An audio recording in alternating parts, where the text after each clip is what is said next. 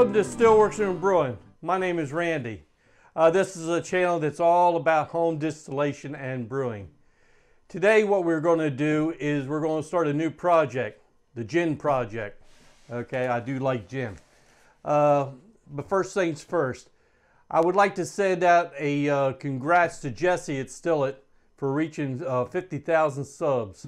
Hey, way to go, Jesse. You know, without everyone's support, we all can't survive. So with that being said, please consider subscribing if you haven't done so so far. Hit that notification bell so you don't miss anything. If you like what you see, give us a thumbs up. Share us with your friends, get the word out.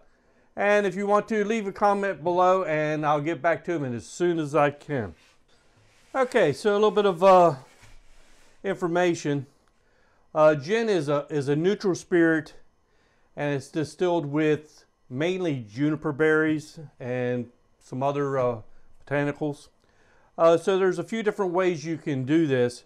Uh, you can put the botanicals right in the uh, still pot. You can make, make a uh, concentrated, you know, if you take some, let's say some uh, 40 proof spirits, put in your juniper berries and whatever else you want, you know, let it soak in that for you know for a day, and then put it right into your uh, you know your just uh, distill pot, and you could do it that way, or you can add the botanicals afterwards into the spirit, uh, but that will leave a, a a small tint to the spirit. And a lot of people like their gin clear, and I, I also like mine clear.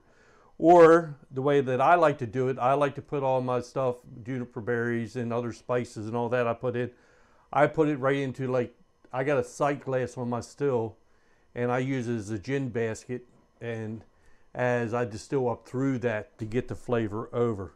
Okay, so there's a lot of different uh, styles of gin. Uh, you can do a little research on that.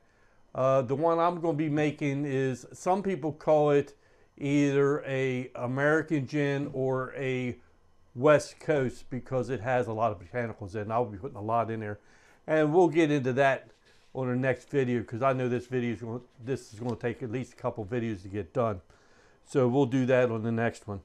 All right, so let's get started. Okay, I did put a little bit of hot water in my mash tun just to help heat it up a little bit uh, and I also uh, sanitized it. Okay, so what I want to do is I want to add, I got some hot water up to about 175 degrees because I know when I drop my grain into my mash tun, it's going to bring it down. Uh, so let me go ahead and put in about, uh, I don't know, about three gallons of water.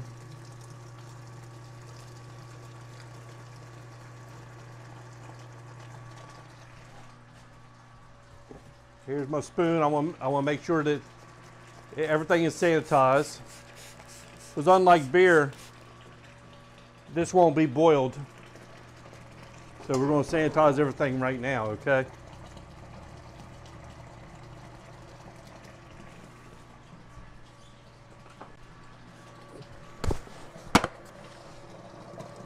So what we got here is 20 pounds of two row. We get a little bit of that mixed in.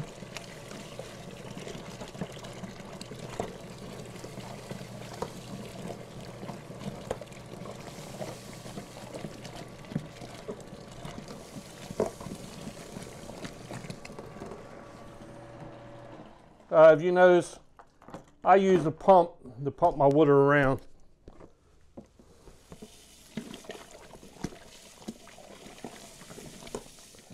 And if I have to, I will uh, add a little cold water.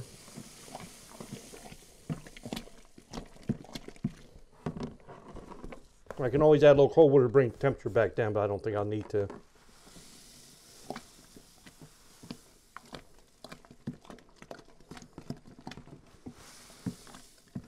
I mean, this point here is just, just like making beer. I don't know if a lot of distillers out there come from the home brewing or they like to do both. I mean, particularly that's what I like is I like to do both.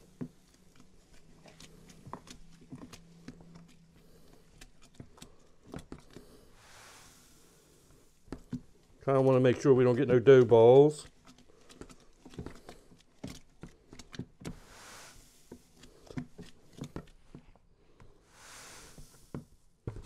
Starting to get a little thick.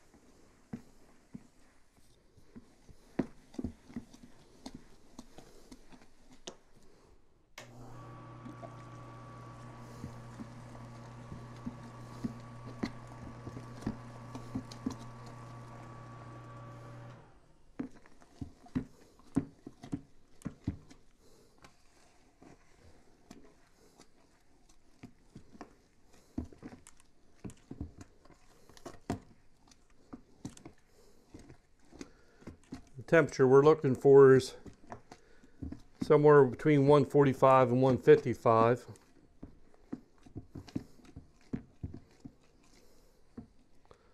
All right, so let's see what we got. Oop. Sanitize. That's why it's great to always have a uh, spray bottle with sanitizer in handy because you'll use it all the time. Still climbing up to 140.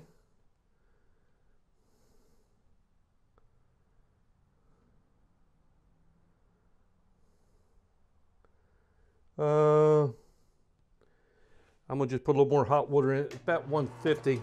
I'm gonna I'm gonna bring it up to 155.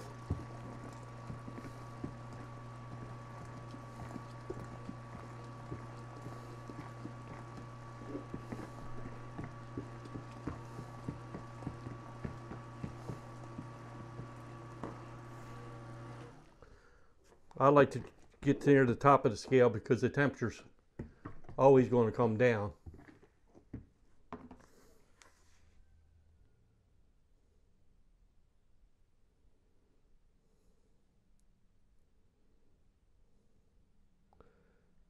Coming on up. There's 150 and 150, 150, 155, 156. I think that's going to be perfect. Okay, so what we're going to do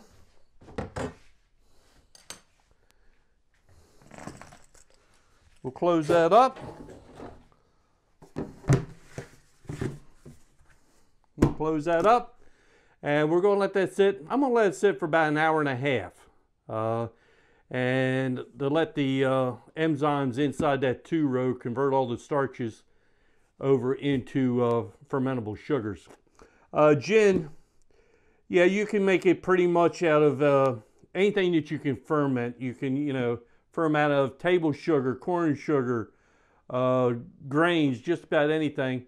Uh, I normally use a sugar wash for uh, gin and vodka, but I wanted to try a uh, a, a, grain wash, or, uh, you know, grain mash, I guess. Uh, so I, I do have 20 pounds of grain in there and we'll see what that comes at. That should come out, I'm thinking, if I did the math right, somewhere in the neighborhood of uh, 1.075 um, is what I'm thinking. Okay, so let's just give it some time to do its thing, uh, and then then we'll be back. We'll be almost done for today. Okay, so it's been about an hour and a half. Think what I'd like to do is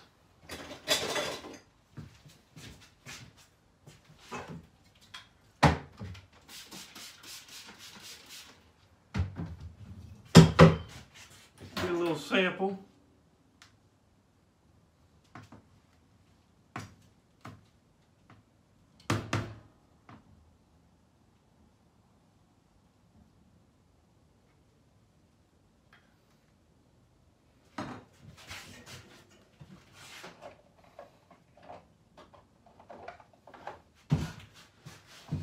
Gonna get a little sample and try some iodine.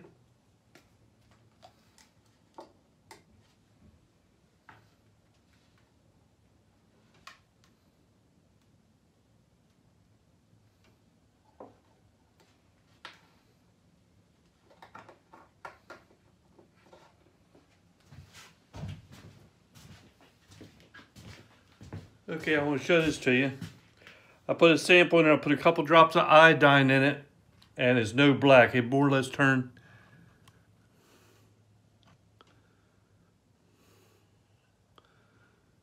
See, there's no black.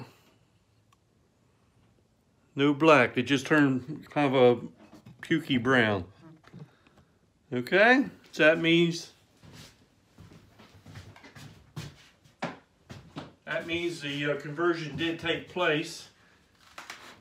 So what I'm to do is I'm to start draining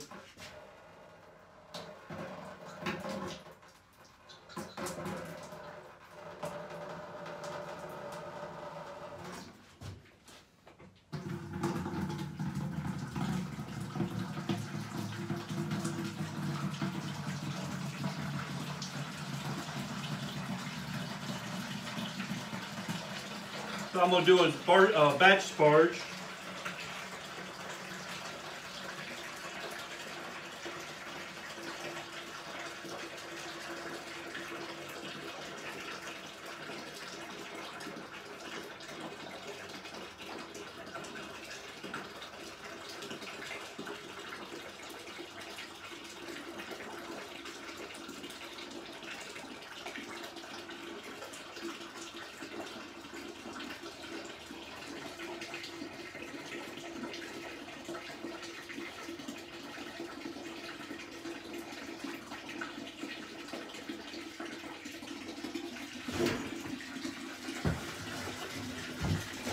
Let this all drain out.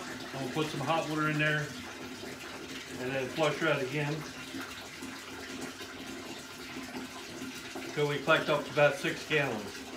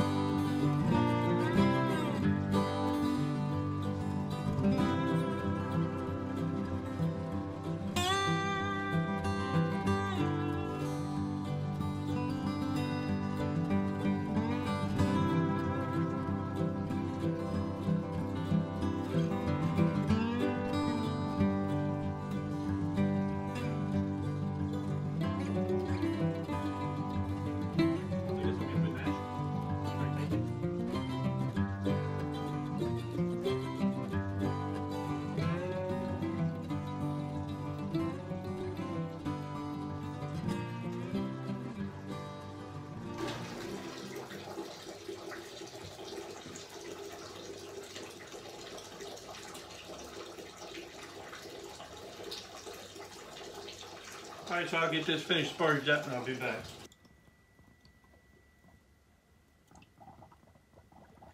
Twelve hours later, never get tired of seeing that. Fermentation is well on its way.